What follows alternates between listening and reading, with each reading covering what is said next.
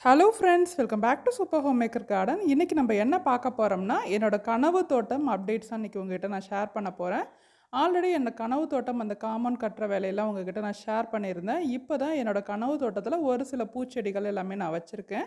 எதனால் நான் லேட்டாக வச்சுருக்கேன்? அதே சமயத்தில் எதுக்காக லேட்டாக நான் அப்டேட் கொடுக்குறேன்னு சொல்லிவிட்டு நான் வீடியோ எண்டில் கண்டிப்பாக உங்ககிட்ட நான் ஷேர் பண்ணுறேன் இப்போ வீடியோ ஸ்கிப் பண்ணாமல் பாருங்கள் அதுக்கு முன்னாடி நம்ம சேனலை நீங்கள் ஃபஸ்ட் டைம் பார்க்குறவங்களா இருந்தீங்கன்னா நம்ம சேனலுக்கு கீழே ரெட் கலர் சப்ஸ்கிரைப் பட்டனை கிளிக் பண்ணிவிட்டு பக்கத்தில் ஒரு பெல் ஐக்கான் இருக்கும். அதையும் கிளிக் பண்ணிங்கன்னா நான் போடுற ஒவ்வொரு வீடியோஸும் நோட்டிஃபிகேஷனாக வரும் ஃப்ரெண்ட்ஸ் வாங்க இப்போ வீடியோக்குள்ளே போகலாம்.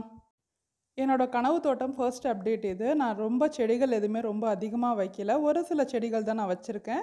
ஆல்ரெடி நான் வந்து நர்சரியிலேருந்து வாங்கிட்டு வந்த கொஞ்சம் பழமரங்கள் செடிகள்லாம் நான் வந்து உங்ககிட்ட நான் ஷேர் பண்ணியிருந்தேன். எது இதெல்லாம் சொல்லிட்டு நர்சரியில் நான் வாங்கினேன்னு சொல்லிவிட்டு உங்ககிட்ட நான் ஷேர் பண்ணியிருந்தேன். அதை தான் நான் வந்து என்னோடய தோட்டத்தில் நான் வச்சுருக்கேன். இப்போ ஃபஸ்ட்டு வந்து நம்ம பார்க்குறது வந்து ஒத்த செம்பருத்தி செடி. பூச்செடிகள்லாம் கொஞ்சம் வச்சுருக்கேன். இந்த ஒத்த செம்பருத்தி செடி வந்து கட்டிங்ஸ் மூலமாக தான் நான் வளர்த்தேன். என்னோடய மாடி தோட்டத்தில் லாஸ்ட் இயர் இருந்தது. இப்போ அதை அப்படியே கீழே நான் எடுத்துகிட்டு வந்து வச்சுட்டேன்னா அதுக்கப்புறம் வந்து பார்த்திங்கன்னா சாமந்தி அப்புறம் செம்பருத்தியில் ரெண்டு வகையான வச்சுருக்கேன். அடுக்கு செம்பருத்தி அதுக்கப்புறம் வேறு கலரில் ஒரு செம்பருத்தி வச்சுருக்கேன். இது வந்து பார்த்திங்கன்னா மஞ்சள் கரிசலாங்கண்ணி பூச்செடி இது. அதுக்கப்புறம் வந்து பிரண்டை இதெல்லாமே வச்சுருக்கேன். இது வந்து பைப் வந்து நாங்கள் கார்டனுக்காக விடுறதுக்காக நாங்கள் தண்ணி வந்து வாட்டர் லைனை நாங்கள் இங்கேயே கொடுத்துட்டோம். ஓஸ் போட்டு விட்டுட்டோம்னா கண்டிப்பாக அதே மாதிரி வந்துடும் ஸோ அதுக்காக தான் இந்த ஃபெசிலிட்டி நாங்கள் பண்ணியிருக்கோம் இப்போ வந்து காய்கறி செடிகள்லாம் போடுறதுக்காக என்னோடய ஹஸ்பண்ட் வந்து ஃபுல்லாகவே அந்த பெட்டு ரெடி பண்ணிகிட்டு இருக்கிறாங்க. அந்த காய்கறி செடிகள்லாம் வந்து விதைகள் போடுறதுக்காக. கொத்தவரங்காய் அதுக்கப்புறம் கத்திரிக்காய் அதுக்கப்புறம் வந்து பார்த்திங்கன்னா வெண்டைக்காய் முள்ளங்கி எல்லாம் போடுறதுக்காக ஒரு பெட்டு ரெடி பண்ணிகிட்ருக்காங்க அதை ஃபஸ்ட்டு வந்து ஒரு அரை அடிக்கிட்ட நோண்டிட்டு அதுக்கப்புறம் அதுக்கு உரங்கள் அதை மாட்டு எருவு சாணம் இருக்குல்ல அது காஞ்சது அதுக்கப்புறம் மண்புழு உரம் இருந்தால் கொடுக்கலாம். இல்லைனா நமக்கு வந்து பூமியில் ஆட்டோமேட்டிக்காக வந்து மண்புழு இருக்கிறதுனால நம்ம அதை கொடுக்கணும்னு அவசியமே கிடையாது. இல்லைனா நம்ம வெறும் மட்டும் கொடுத்தாவே போதும். அதுக்கப்புறம் கொஞ்சம் எறும்பு தொல்லைகள்லாம் அதிகமாக இருக்கிறதுனால நம்ம வேப்பம் புண்ணாக்கு அது மாதிரி நம்ம கலந்து கொடுக்கும் போது ஓரளவு கொஞ்சம் வளர்ச்சி இருக்கும். இது வந்து மஞ்சள் கரிசலாங்கண்ணி செடி. இது என்னோடய மாடி தோட்டத்தில் உள்ளதான் நான் வச்சுருக்கேன். ஆனால் நிறைய பேர் வந்து இது மஞ்சள் கரிசலாங்கண்ணி இல்லை இது வந்து அழகுக்காக வச்சுருக்கிறதுன்னு சொல்லிட்டு சொல்கிறாங்க அது என்னன்னு தெரியல எனக்கு. இது வந்து நந்தியாவட்டை வெள்ளை நந்தியா வெட்டை இருக்குல்ல அந்த செடி வச்சுருக்கேன்னா இதெல்லாமே நர்சரியில் நான் வாங்கிட்டு வந்து வச்சது தான் இது. அதுக்கப்புறம் புதினா அதுக்கப்புறம் வந்து ஒரு சில கீரைகள் எல்லாமே நான் வச்சுருக்கேன். அப்புறம் வந்து பேசிக்காக வந்து நம்ம ஒரு எந்த ஒரு தோட்டம் ஸ்டார்ட் பண்ணதாக இருந்தாலும் கண்டிப்பாக வந்து துளசி வைக்கிறது ரொம்பவே நல்லது அது. என்னோடய கனவு தோட்டத்தில் அதுக்கப்புறம் வந்து கருந்துளசி அப்புறம் வந்து பச்சை கலர் இருக்கல்ல அந்த வெள்ளை துளசி எல்லாமே வச்சுருக்கேன். இது வந்து ஒரு வகை மல்லி செடி இது. அது நித்திய மல்லின்னு சொல்லுவாங்களோ அதுதான் வச்சுருக்கேன் இது.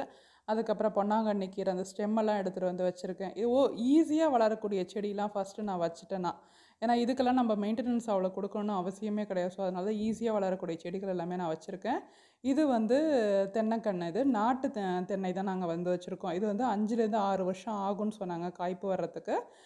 பார்க்கலாம். இது எப்படி நமக்கு நல்லா க்ரோத் ஆகுதா இல்லையான்னு சொல்லிட்டு நம்ம பார்க்கலாம். என்னோடய மாடி தோட்டத்தில் இப்போ வந்து ஆடிப்பட்டம் நான் ஸ்டார்ட் பண்ணுறதுக்கு முன்னாடி வந்து மண்கலவெல்லாம் ரெடி பண்ணுறதுக்கு முன்னாடி நல்லா இருக்க செடிகள் எல்லாமே எடுத்துகிட்டு வந்து என்னோடய கனவு தோட்டத்தில் நான் வச்சுட்டேன்.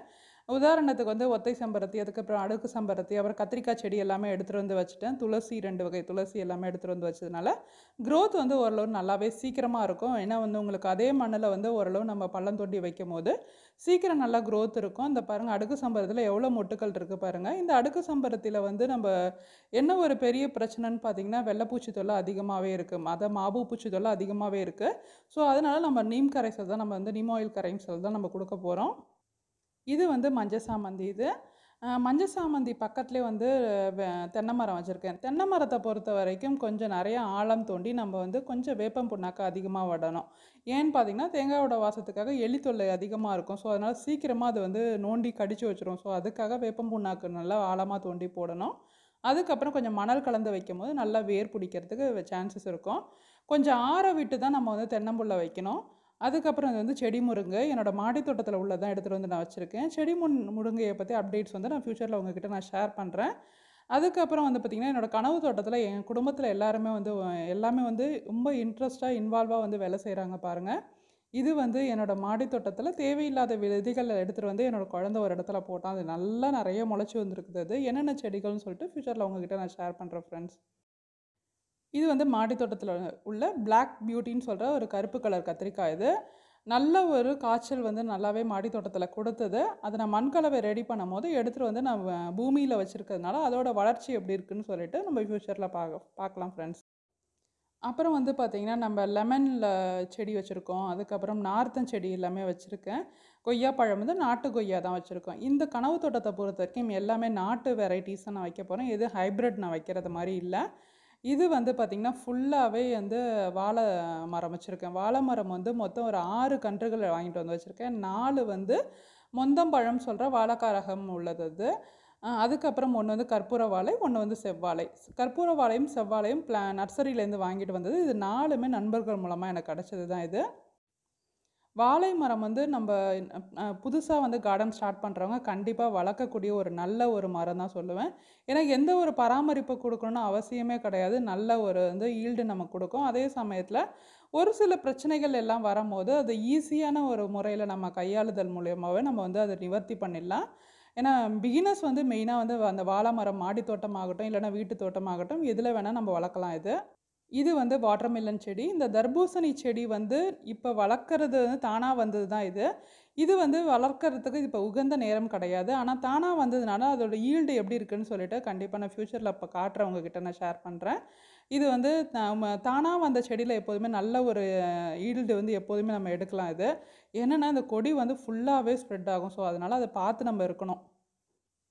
இது எல்லாமே வந்து கார்டன் பெட் இப்போ தான் ரெடி பண்ணிகிட்டு இருக்கிறோம் நாங்கள் இதில் வந்து நம்ம வந்து கொத்தவரங்காய் அதுக்கப்புறம் இப்போ சீசனல் வெஜிடபிள்ஸ் எல்லாமே நம்ம போடலாம். கத்திரிக்காய் அதுக்கப்புறம் தக்காளி அப்புறம் வெண்டைக்காய் அப்புறம் வந்து முள்ளங்கி எல்லாமே ட்ரை பண்ணலான் இருக்கேன். உங்களுக்கு மண் வந்து ரகம் வந்து கொஞ்சம் சரி கிடையாது. நான் ஆல்ரெடி நான் ஃபஸ்ட்டு வந்து வீடியோ ஸ்டார்டிங்கில் நான் சொல்லியிருந்தேன். எதனால் லேட்டாக உங்களுக்கு அப்டேட் கொடுக்குறேன்னு சொல்லிட்டு என்ன எதனாலன்னு பார்த்தீங்கன்னா இது மண் வந்து கொஞ்சம் தரமற்ற மண்ணாக இருக்குது அதாவது நம்ம ஃபஸ்ட்டு வந்து பேசிக் உள்ள மண் வந்து கொஞ்சம் மேடு தூக்கத்துக்காக நிறைய மண் அடித்தோம் அந்த மண் ஃபுல்லாகவே வந்து ஏரி மண்ணாக இருக்கிறதுனால கொஞ்சம் வந்து களிமண் கலந்த மாதிரி இருக்கிறதுனால சரியாக வந்து எங்களுக்கு வந்து செடிகள் வரமாட்டாங்குது. ஸோ அதுக்காக நாங்கள் ரெடி பண்ணிகிட்டு இருக்கோம் எல்லாமே.